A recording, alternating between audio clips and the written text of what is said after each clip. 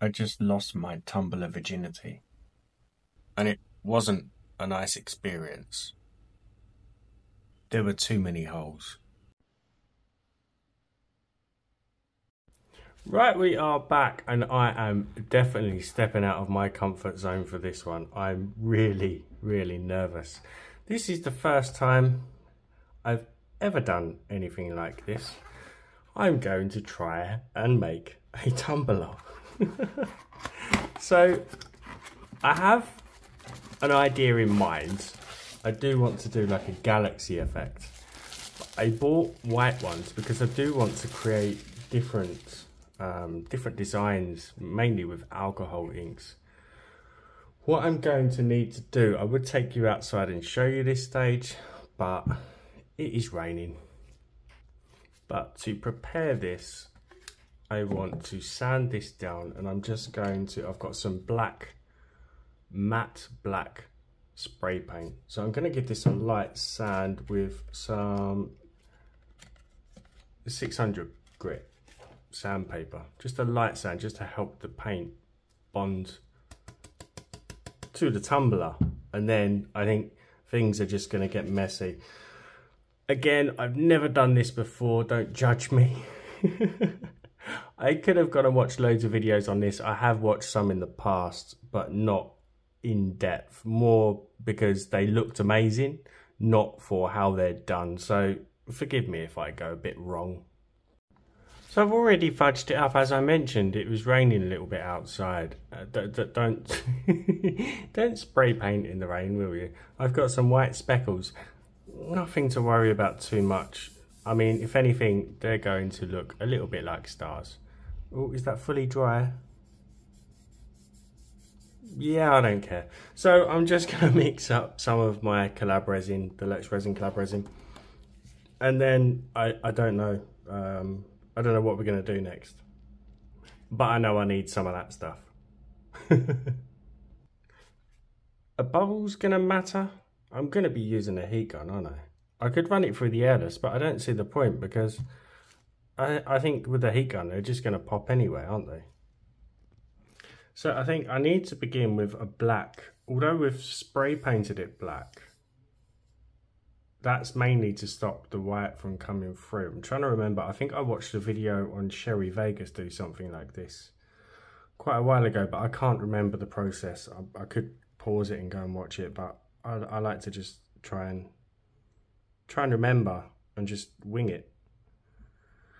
So I'm going to use some black mica powder. I think. And I'm going to use some of the Marabu Rainbow Alcohol ink. I want it to be quite dark. Yeah, we're going to use some of this stuff. Hopefully this will show through. I don't think I've got much left and it's hard to get hold of this stuff. Just add as much as I want. Why not? What, what, could, what could go wrong? I could lose a tumbler. But then, as I learn, if it goes horribly bad, I could sand it and, and try again at a later date, I suppose. So th this, this part, I kind of know what I want to do. But I'm going to use alcohol inks. And I can't remember if I need to add like a white pigment paste to it first or I add my alcohol inks and then add a white over the top. We're just going to see what happens. I don't know. And I think I need something underneath this in case it drips off. I think that would do. We might get some, some nice jewellery pieces also. Okay, let's turn it on. Some of the video might be sped up. I'm going to put my mask on now and go into voiceover. Okay, we are in voiceover mode. You are really going to have to forgive me for this mess that you are about to see. So I'm pouring over my black resin with the Marabu and watch what starts happening. I start pointing at them because I'm like, oh, you know, I've never experienced fish eyes before. Um, and I just thought, well, maybe if I loosen the resin, then it would, it would surely, it would pass over and seal those up. But no, watch these get even worse. So I just think, well, I'm going to carry on and just see what happens. Hoping that things are just going to get better.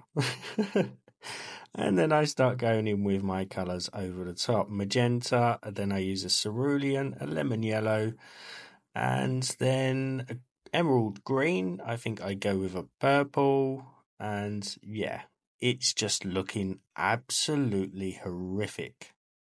And I also went in with some more Marabu for stars. Right, I've pulled my mask down for a moment. I don't know what went wrong.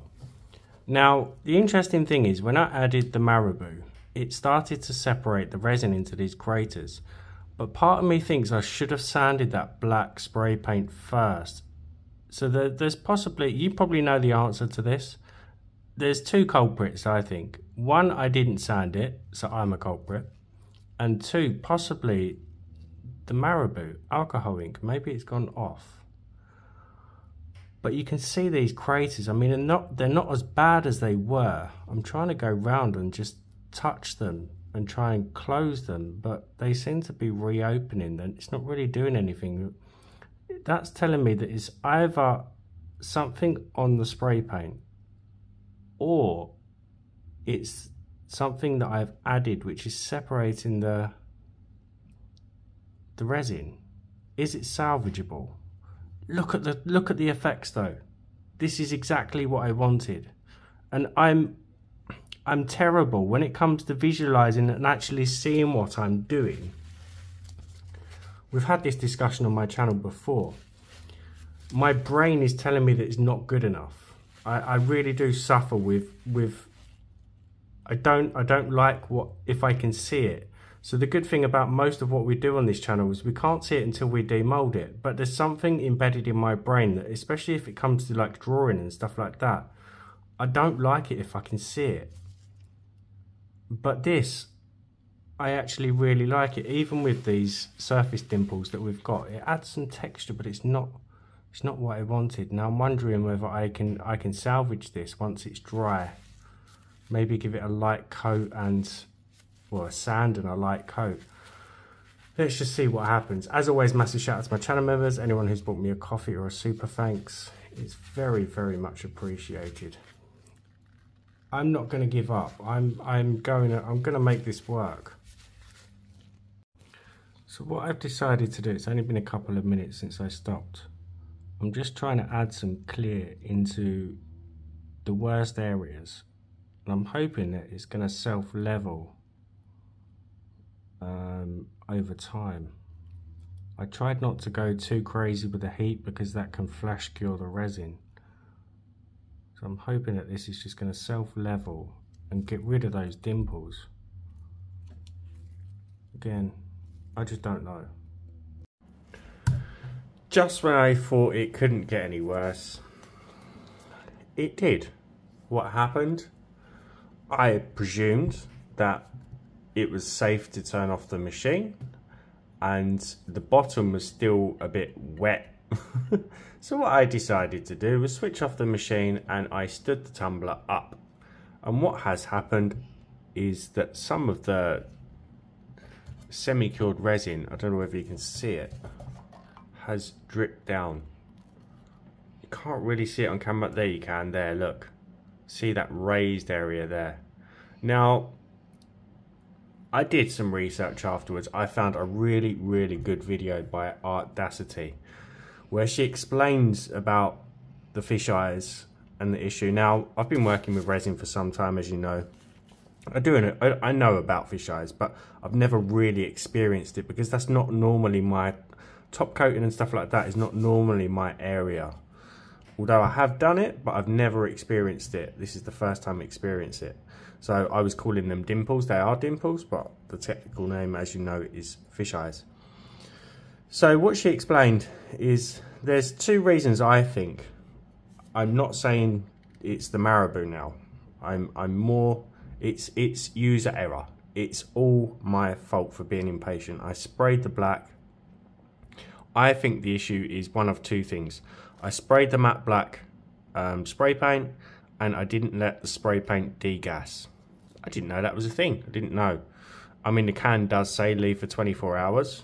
I didn't, so I was impatient. And what, what's happening as the, the spray paint is still drying, it looks dry, but it's, it's releasing a gas. So when I've put my epoxy on, the gas the gases from the spray paint have, have found weak points and they've opened up these areas. Now the other thing could have been that it wasn't that and that I just didn't put enough epoxy on and it's just begun to separate but could be both.